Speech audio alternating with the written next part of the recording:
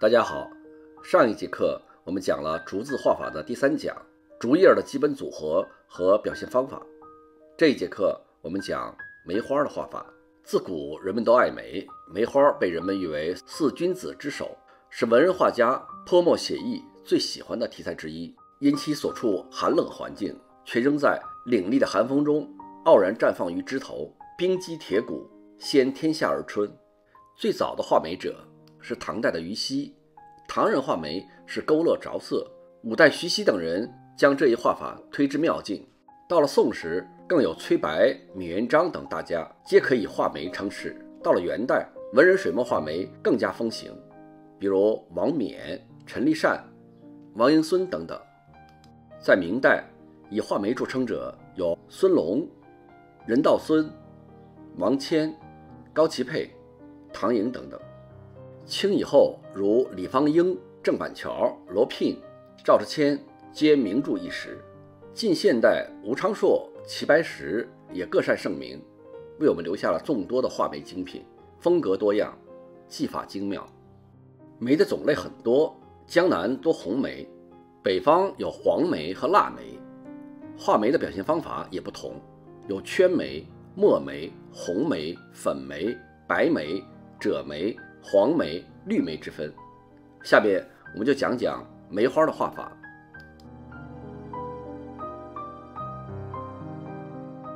画梅花从什么地方下手？对于我们初学者来说，这是一个难题。我们首先要了解梅花的生长规律和形态结构，这一步是非常重要的。下一步就是梅花枝条的基本单位的组合和练习。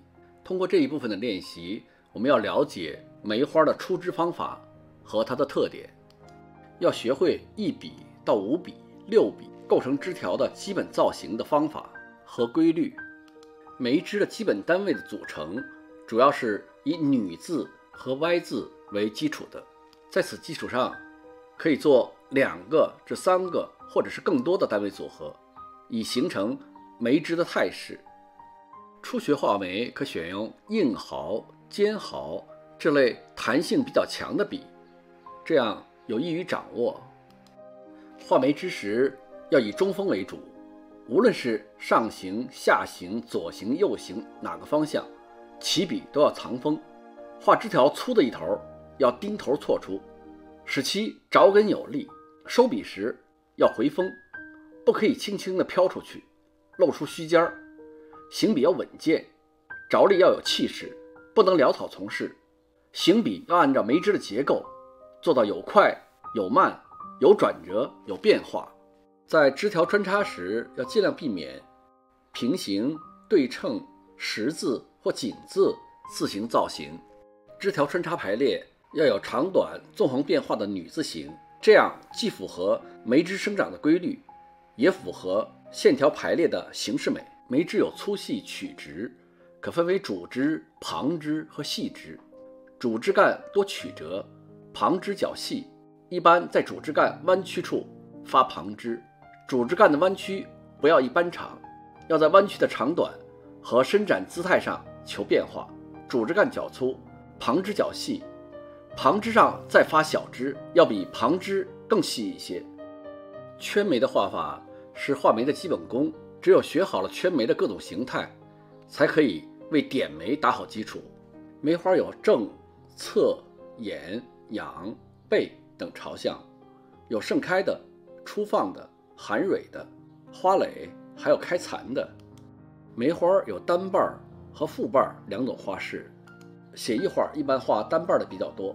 梅花有五瓣，花瓣呈圆形，开残的可画四瓣、三瓣或两瓣。花朵的表现方法常用的有三种：圈花法、点花法，还有圈点结合法。正面的花儿为五个近似于圆形的花瓣组成。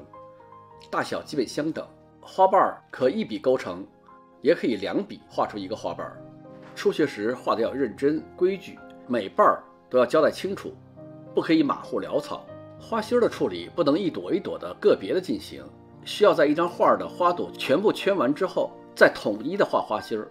花心的用笔要挺进粗实，渐似虎须，要长短相间，齐而不乱，切忌弯曲无力，过于纤细。点蕊时最好用凸锋旧笔，中锋垂直点下，这样会显得浑圆厚实。花心儿、剃须、点蕊头，无论是勾勒法还是墨骨法，皆需要用浓墨。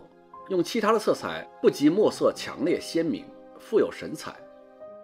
半侧的花五个花瓣的形态要有区别，前面两瓣呈扁圆，后面的两到三个瓣儿被前面的瓣儿所遮挡，所以说不能画全。花心儿必须随着透视的变化而变化。全侧的花儿一般画三瓣即可，中间较大，两侧较小，露出一部分花须、蕊头。因透视角度不同，有些全侧花儿可不用点须蕊。花蕾呈圆形，比花朵小，有的是紧包未开，画成圆圈即可；初开的两三个圆弧交叠即成。先画枝，后画蕾，蕾多生在枝梢。画蕾用浓墨点托，显得精神。背面的花儿生长在枝干的后边，只见花萼，不见花心儿和须蕊。花托上部分裂成片状，称为花萼，共有五片儿，在花与枝的连接处。要以浓墨来点朵，通常是点一点或者是五点，侧面多见两三片萼，用笔要随意，墨点要稍微浓重，不宜太细太小，也不必拘泥于严格的组织结构，力求总体的视觉舒服即可。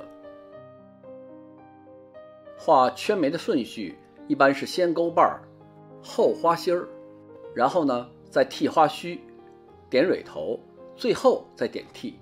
但在创作时，顺序就不完全是这样了，因为在勾完大面积的花头之后，要用点剃来确定花的位置和朝向，这样更容易保证画面的变化。总之，所有都不是一成不变的，都要根据画面的变化而变化，这样才能创作出更好的作品。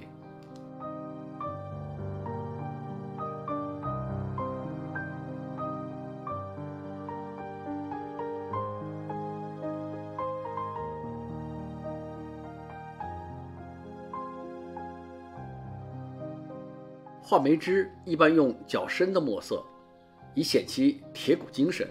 初练时，笔头含水量不宜过多。在画较粗的枝条时，以侧锋入笔，渐转中锋；也可以用中锋起笔，渐转侧锋。主要是要根据出枝的方向变化，灵活运用线条的用笔，要根据枝条的弯曲来采用快慢、顿挫、转折等不同手法。其枝条的形状上。不宜画得过直，应该适度的弯曲，使其柔中带刚。行笔要有顺有逆，用笔有中锋、侧锋之别。画小枝以中锋为主，画较粗的枝则中侧锋互相转换，因势而定，不可拘泥。花朵除正、侧、沿、仰、背等朝向的不同以外，在入画时。分布的位置很重要，应该有疏密聚散的变化，切记图案似的散点分布。一般在画三朵花时，两朵紧靠，一朵稍离，形成疏密有变之不等边三角形的排列。当画许多花时，最紧密的部分是画面的主要位置，是一幅画的重心所在。花的总体布局要和枝干的疏密协调，做到疏能跑马，密不透风，即画面重心部分。花朵要茂密纷繁，其他部分则稀疏透气。画面主要部分以正面盛开的花为主，其他部分侧背蕾等可略多画些。枝梢尖端不开花，一根枝条中下部可以画得茂密一些，而上部要画得稀疏一些，以蕾和半开的花为主。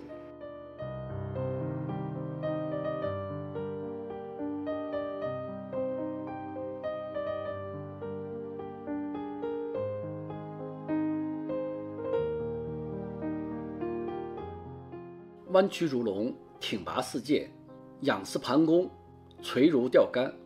这十六个字，形象而科学地概括了梅枝曲直上下等形态特征的圆浑坚挺的笔墨要求。运笔的轨迹，只有通过墨色才能体现出来。好像一个人有骨有肉有血，才有生命。初学时画眉枝，容易臃肿瘫软，缺乏骨力，或光洁流滑，皆因其水分过多。行笔的快慢掌握不好所致。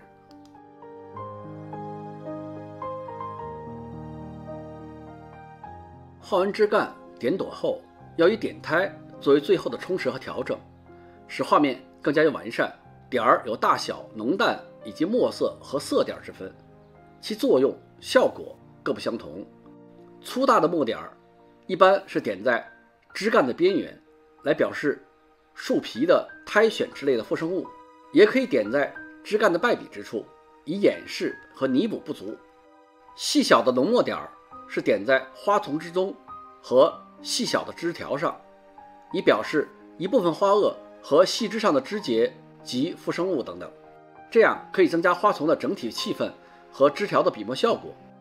淡墨点儿一般是点在花与花之间的稀落之处，使花丛之间相互连接在一起，更为紧凑。另一个方法是用较大的笔，连点带洒，散布于画面的背景空白之处，使梅花与白纸之间有色调过渡。这样不仅增加画面的层次，也增加了画面的整体感和总体的气氛。着笔点朵时。以中锋垂直点下，如高山坠石；散点时，则握笔略侧，水分要足一些，使散落的点子有渗化效果。无论是点朵、洒落，都要疏密错落，大小相间，浓淡得宜，水分饱和。切记排列整齐，大小一样，左右对称，枯涩无味。下面我们讲一下圈眉画法的步骤。首先是出枝，笔尖儿蘸浓墨。在盘中调和一下，用中锋画出最前面的枝条。起笔时用中锋画至枝条的下端，转为侧锋。务必注意在行笔的过程当中，枝条留白断开，以便填花。也可先用较淡的墨，以侧锋画出后边的粗枝干，再加前面的深枝条。要根据构图的需求灵活的运用。无论哪种方法，枝干的穿插、交错、疏密等关系和断开留白的地方。和方法都是一样的，然后用淡墨圈出花朵，注意花朵的聚散和正、侧、眼、仰、背的表现。花朵与枝干需反复交替进行。画好主要枝干，决定画面的大局。画好一部分旁枝后，开始画花儿。花儿画的差不多时，再在花中穿插枝梢，而后再补一些花儿，或再添一些细枝梢，这样交替的进行。逐步的完善，再下一步是点花蒂，处理花心儿，剃花须，点蕊头。用较凸的笔，用中锋浓墨来画花朵的正反背侧，往往通过点心才能够表现出来。再下一步是点胎，收拾整理，干、枝、花等基本完成以后，再回过头来看看整体的效果，不足之处再做补充调整，最后在适当的地方。提款加印章，这样一幅梅花就完成了。画圈眉一般不着色，为脱出白花，可在花瓣的轮廓外围圈染淡墨，也可以用淡赭石或者是淡花青来圈染。圈染时水分要足，力求渗化效果，切忌干涩刻板。今天的内容就讲到这里，下一节课我们讲梅花的第二讲点花法。谢谢收看，欢迎大家订阅、留言、点赞。我们下期见。